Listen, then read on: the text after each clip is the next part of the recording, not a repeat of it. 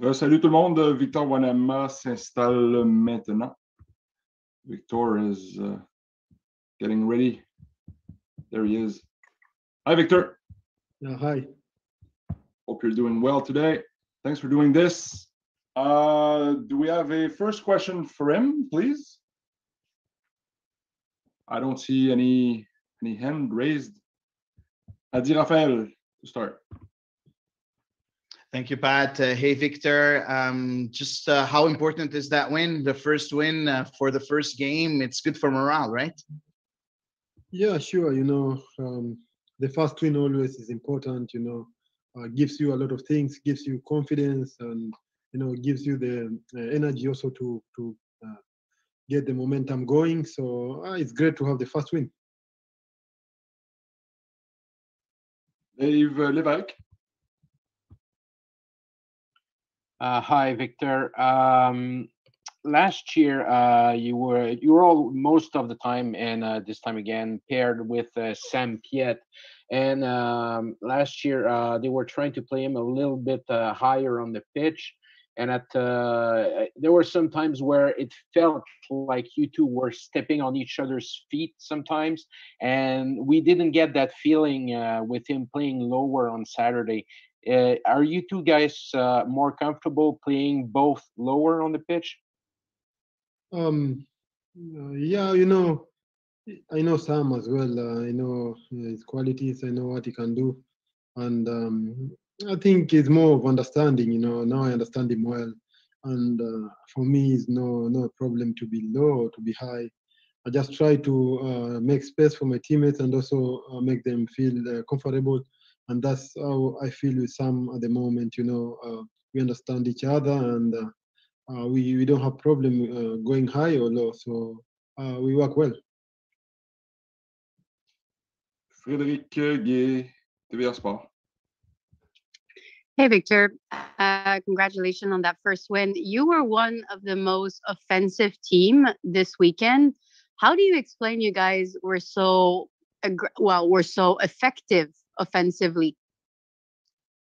Yeah, we know um, we are we have good uh, good players going forward, and uh, we have been working hard in the preseason uh, with our uh, way of play.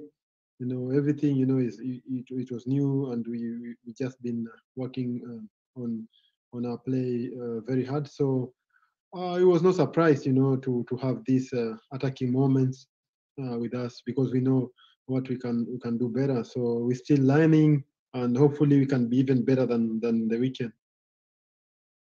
Oh, Vance. Uh, thanks, Patrick. Hi, hi, Victor. Thanks for uh, for doing this. Um, about your own um, fitness and confidence, last season uh, you didn't really have a full preseason, but this year you've kind of taken part in all of the preseason preparations. How much of a difference does that make to you as a player? It's it's it's a bit you know it's a bit uh, uh, advantage because you you get to understand your teammates more, and then you get to know everyone more uh, during the uh, the preseason and the understanding of football as well.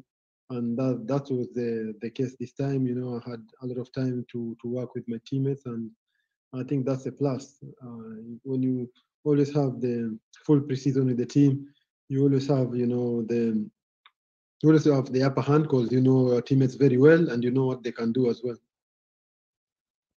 Dan Ken, uh, Sky Sports. Thank you, Patrick. Um, hi, Victor. It's Daniel from Sky Sports News. Hope you're well. Um, first of all, you, have been over um, at Montreal for over a year now. Um, I was just wondering, how is the MLS different to other leagues you've played in during your career? Yeah, I think um, MLS is a bit different. You know, um, as you can see now, you know, uh, it has it has uh, the league has uh, has improved a lot. I know they're getting a lot of uh, young players now in the league, and they're they're making a lot of talents uh, going to Europe, uh, um, and you can see how they have done in, what they what they have done in Europe. So it's a bit, you know, improving. It's a bit getting to the level of, of catching up to the level of uh, uh, uh, European le big leagues, but you know it will take also a few years to to be there, to be up there. Jose Rodriguez.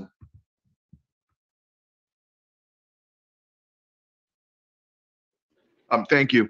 I wanted to ask you a little bit about you know the conditions in, in South Florida for you guys. Um, do you think you have adjusted already after playing an, uh, an official match? The intensity is obviously higher when you're playing for points. Um, how have you guys handled the the weather? It was a problem, um, at least uh, what we saw yesterday in the Inter Miami game as well. And I was wondering, how are you guys handling since you're probably not used to this type of weather down here? Thank you. Yeah, um, the weather is, is, a, is a big problem, but it's not only for us, it's also for, for the opponents. But we ju- we're just hungry. We're just hungry for, for success and uh, we want to push in any uh, uh, circumstances. And we, we understand it's going to be hard for us here because the weather is, is not favoring us and is not favoring the opponent, uh, the opponent as well. So uh, it, it just comes uh, from our hearts and uh, we're just hungry for success. Sofiane Benzaza. Uh, hi, Victor. Uh, thank you for taking the time. Um, I'm pretty sure I would know the answer you will answer, uh, as many players would do. But if you would choose one comfortable position where you feel you can be the best you can be with ACF Montreal and MLS, do you see yourself more of a you know pure defensive midfielder in MLS, or see yourself like a box to box? What is you more comfortable? Let's say like I give you a one billion dollars to play one position that you know you can succeed up to like an elite level MLS? What will be your preferred position uh, uh, at your age? At would you experience? I think uh, I can succeed in any position, you know. Uh, if, especially when you give me that one billion dollar, I can succeed in every, even the keeper. uh, yeah, just to tell you, you know, I'm I'm comfortable. I'm I'm comfortable in any position, you know, as long as um, it helps the team, then I will do it. I will play there. So um, I'm a defensive midfielder, and I like to score goals also if I can. And box to box also, I enjoy do that if I can have that role. It's, it's, it's what role that the manager gives me, and I think I can I can be all around player. Uh, Frédéric Guay again. Yeah, hi, Victor. I wanted also to ask you about Wilfried. Um, you have a lot of experience uh, with football. You've played under Thierry last year. And now, what does Wilfried bring to uh, the game, to this team? Yeah, I think the coach came with this uh, came with this way of playing, and uh, we adjusted uh, very well, and um, uh, it worked well for for us uh, for the first game, and uh, we can see how he wants us uh, to work, and hopefully uh, we can continue like that because I think he brings in the new style which um, fits us all well. So hopefully it can be like this uh, all the season. I have a couple more questions. Uh, Paul Vance again. Thanks, Patrick. Um, hi, Victor. Um, I'm, I'm sure you've been following the, the big news from Europe from yesterday, and you having played in Belgium, Scotland, and England. Um, what do you make of the announcement that came out yesterday? Yeah, it's, it's a bit, you know, it's a bit shock, you know, to see this because, you know, um, a lot of things happens like this, you know, it's not, that's not football. Football is not about greed, you know, football is, it's about the fans, it's not only about the individuals, you know. So uh, if we end up doing these things, you know, it's not good for football. So hopefully uh, they can get the house in, ho- in order and uh, everything to be back uh, in place, and then uh, we can continue with normal way. Uh, the fans they can enjoy the game as normal, and I think that's that's the thing.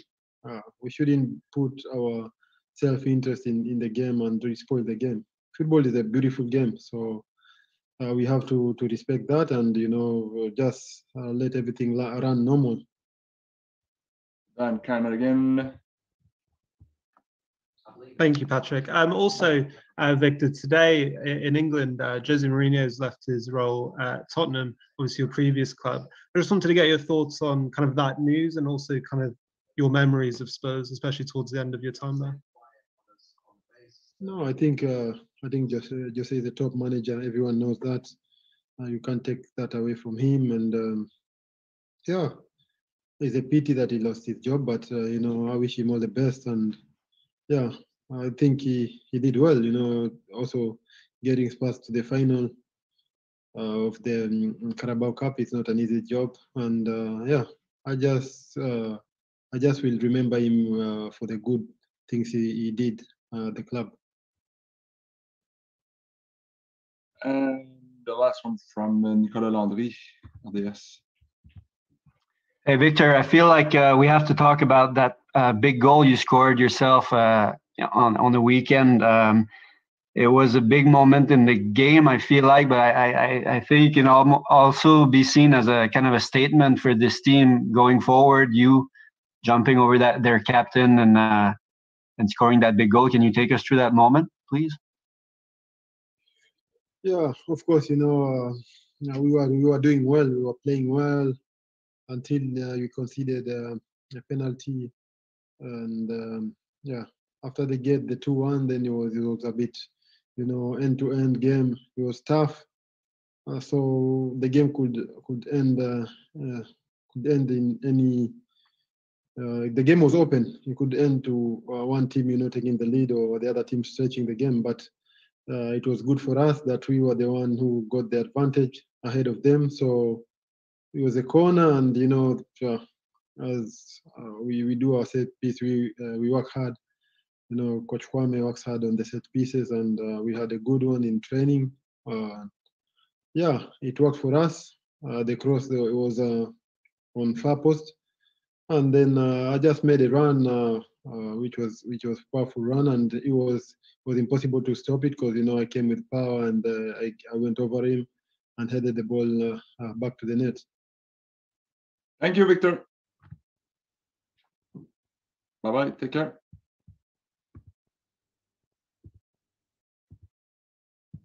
Je rappelle que Zachary Brault-Guillard sera avec nous également dans une minute.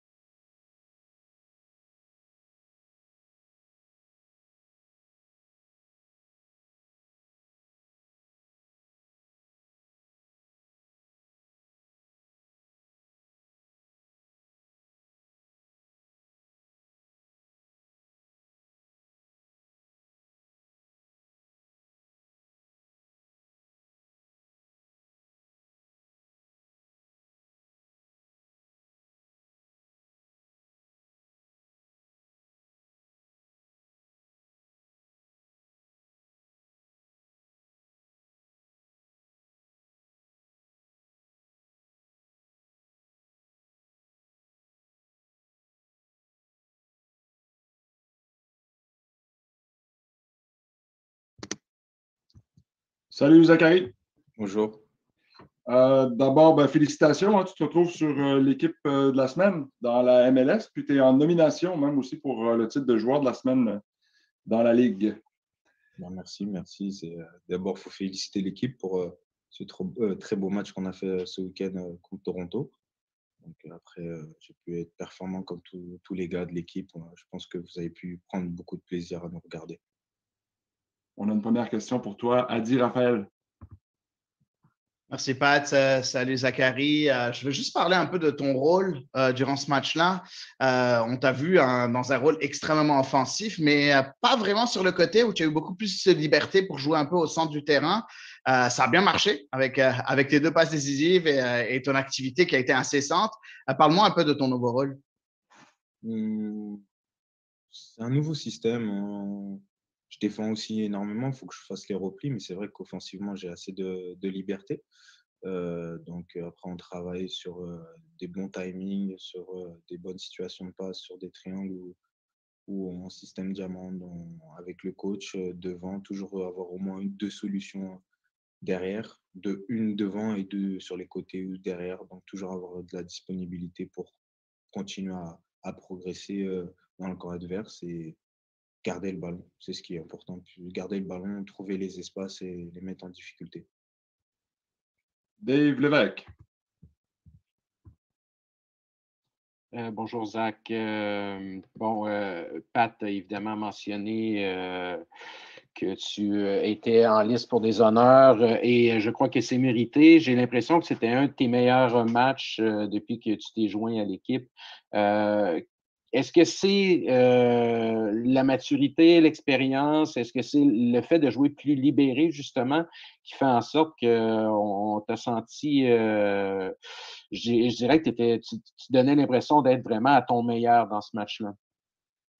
Mmh, physiquement, je me sentais bien. Je pense que aussi euh, mon départ avec le 23 au Mexique m'a aidé à bien me préparer pour ce début de saison. Faire quelques matchs, déjà pour la chaleur, j'étais un peu plus facile que certains de mes coéquipiers. Euh, j'ai pu répéter les courses, poser un peu plus de problèmes. Après, je pense aussi que maintenant, je m'adapte de plus en plus à la ligue. Euh, je connais un peu plus mes qualités, mes déplacements, je suis de plus en plus minutieux sur ce que je dois faire. Là où je dois me positionner pour euh, me mettre dans, de meilleures situations pour mes coéquipiers, pour qu'ils me donnent le ballon et que je leur donne le ballon. Et pour ce premier match, je pense que ça a été de bon augure. On a tous bien joué j'ai pu euh, être assez cohérent de l'avant, j'ai pu mettre des bons ballons aussi. Après, euh, ma, ma, qualité première, c'est de bien défendre. Donc, euh, si je peux faire un très bon match défensivement, c'est déjà le plus important. Après, l'aspect offensif, c'est un atout. Mais je me concentre sur, sur les tâches que j'ai, être présent déjà défensivement et après offensivement, c'est du bonus. Jeff Morancy? Oui, salut Zach. Félicitations encore pour euh, ton match. Excellent euh, match. Tu parlais tantôt de, liberté offensive euh, que tu avais eu beaucoup contre Toronto. prochain adversaire, Nashville, mm-hmm. qui joue principalement là, dans ton couloir avec Lovitz, Godoy et Léal. Ils ont pris quand même 31 tirs dans le dernier match. Est-ce que tu vois un, un, rôle un peu différent pour le prochain match? Je ne sais pas vraiment. On va travailler ça durant cette semaine avec les coachs et mes coéquipiers. on verra bien. le système, je ne le connais pas encore. Je ne peux pas vous en dire quoi que ce soit. Donc, à vrai dire, je sais que c'est une, équipe assez offensive. Daniel Lovitz, il était là parmi nous il n'y a pas si longtemps que ça. Très bonne qualité athlétique et technique. Et il va vraiment, c'est un latéral gauche très bon, très exigeant, très professionnel. Donc, il faudra faire attention à nous de bien gérer, comme si on reproduire, voire même mieux le match précédent contre Toronto et pour ramener les trois points. On veut faire partie des playoffs cette saison encore. Donc, à nous de, bien concrétiser sur le prochain match et avoir pourquoi pas les six points. Adi Raphaël? Pardon. Merci encore, Pat. Euh, Zachary, euh, de nouveau, est-ce que, ben, on t'a vu, on a parlé un peu de ton rôle, ton nouveau rôle un peu cette année. Est-ce que tu as des objectifs cette année euh, spécifiques, par exemple, marquer ton premier but sous l'uniforme montréalais? Est-ce que c'est quelque chose auquel tu penses? Tu as déjà une, célébration à laquelle tu as déjà pensé? Non, bah, j'ai des objectifs comme tout le monde. Après, c'est vrai que hum, ça serait bien, ce serait temps que je marque avec toutes les occasions que j'ai pu me créer durant ces deux, saisons précédentes. pourquoi pas cette année, je, l'espère. Déjà, avoir déjà plus de passes décisives que les années précédentes, être de plus en plus exigeant en tant que défenseur, et si je peux amener encore plus de, à mon arc ma palette offensive et être plus dangereux dans mes actions quand, quand je monte, pour le bien de l'équipe, c'est le plus important. Après, objectif personnel, oui, pour être en sélection A, avoir ma place, jouer le plus de matchs possible, représenter mon pays, ça c'est sûr que, que c'est mes objectifs de tous les jours. Je ne me, pose pas la, de questions là-dessus. Donc pour moi, après, personnellement, ça va jouer sur des deux, trois petits détails, mais c'est vrai que déjà être bon défensivement et après, si je peux avoir beaucoup plus de, de comment dire, excusez-moi, d'être plus dangereux offensivement pour, pour le bien de l'équipe et avoir beaucoup d'assists et pourquoi pas marquer, je, suis preneur, mais c'est à moi de, de, bien faire tout en travaillant fort aux entraînements pour concrétiser la même chose sur le terrain. Frédéric Oui, Zachary, j'ai une question un peu. Euh, bon, c'est peut-être pas facile d'y répondre, mais on a l'impression que vous ne connaissez pas beaucoup. Il y a énormément de nouveaux joueurs, ils viennent de partout, mais ça reste que vous êtes une équipe assez jeune, euh, puis que vous êtes euh, un peu encabanés tous ensemble en Floride. Quelle est la chimie cette année de ce groupe-là? Comment vous vous entendez ensemble? Comment tu vois cette saison avec le groupe de gars qui sont sur le terrain? Plutôt bonne. C'est vrai qu'on est beaucoup de jeunes. Je pense qu'on est une des équipes de MLS euh, les plus jeunes sur le papier. On a aussi pas mal d'anciens, donc ils sont là pour nous encadrer, pour euh, aussi nous diriger, nous rappeler à l'ordre ou quoi que ce soit. Mais on travaille fort. Oui, le, le coach, pardon, euh, il nous connaît tous. Il est là depuis de nombreuses années. Donc, nous a tous vu connaître. Après, il y a les nouveaux. Donc, euh, on essaye de les insérer le plus vite possible euh, dans, dans notre système, dans ce, qu'on connaît depuis quelques temps, depuis des années, on va dire, avec tout, toutes les années qui sont passées où, il, était là en tant qu'entraîneur adjoint et là en tant que coach. Je pense qu'il s'inspire un peu de tout ça. Donc, euh, je pense qu'on est un peu dans la continuité de l'an passé avec M. Monsieur Henry. donc, après, ça, on va voir, mais pour l'instant, c'est de bon augure, tout se passe bien. On deux dernières questions. Dave Lévesque. Bonjour Zach. Euh, samedi après le match, euh, lorsqu'il commentait ta performance, euh, Wilfred était évidemment très satisfait du boulot que tu avais accompli. Il mentionnait également que tu étais le type de joueur qui était encore meilleur lorsqu'il ressentait de la compétition, ce que tu as avec Clément Baya. Es-tu d'accord avec son affirmation? Meilleur, je ne sais pas. Après, c'est lui qui en juge. Donc, j'ai pas vraiment comme je suis pas à l'extérieur de voir mes performances, je peux pas trop savoir, mais c'est vrai que c'est toujours bien d'avoir de la concurrence. Ça amène de, la compétition et être compétiteur, tu es obligé de, de l'être quand tu es footballeur. Donc, euh, tu veux donner le meilleur, donc tu es obligé d'élever ton niveau. Et plus tu élèves ton niveau, plus le groupe va s'élever aussi. Donc, euh, c'est vrai que je pense d'une part, il a peut-être raison. Après, euh, Clément aussi, Clément Baya fait énormément du bon travail, donc on essaie d'être le plus performant. Et après, c'est les choix du coach qui, qui décide qui va mettre euh, le week-end. Et on termine avec Nicolas Landry. Salut Zach. Euh, Mason Toy a mis un super but pour commencer le match samedi. Euh, je me demandais si tu voyais quelque chose de différent chez lui comparé à l'année dernière quand, quand il s'est joint à l'équipe, il commence à attirer l'attention pas mal avec euh, ses performances. Qu'est-ce que tu vois chez lui qui n'était peut-être pas là l'an dernier? Mmh. Après, je ne connaissais pas trop, trop de l'an dernier. Il venait en cours de saison, c'était un peu compliqué. On n'avait pas les meilleurs résultats possibles. Donc, le climat n'était pas très, très bon, on va dire. Mais il travaillait, il travaillait. Et là, je pense que durant la préparation, il s'est mis à préparer. Et voilà le, résultat de, son, travail. Euh, là, il est en confiance, il se sent bien, en entraînement, on bosse fort. Euh, beaucoup de compétitions, on est vraiment très rigoureux, là-dessus. Donc, euh, on se donne tous au maximum pour, le bien de l'équipe et on fait les efforts chacun, mais pour toute l'équipe. Donc, je pense que ça s'est ressenti sur des courses, il revenait fort. Il a beaucoup donné, surtout. Donc ça, s'est récompensé par son but et il a eu de belles occasions sur le Santa Kisa aussi. Donc, euh, je pense que pour la suite, ça sera de bon augure aussi. Merci beaucoup, Zach. Merci, merci à vous. Bon après-midi. Merci, au revoir. Salut. Euh, voilà, ça complète pour aujourd'hui. Euh, les deux prochaines conférences vidéo, demain et jeudi, à moins d'un change- changement de dernière minute, mais voici l'horaire euh, prévu cette semaine. Voilà, merci. The next uh, upcoming video conference this week on uh, Tuesday and uh, Thursday. Thanks, guys. Bon après-midi.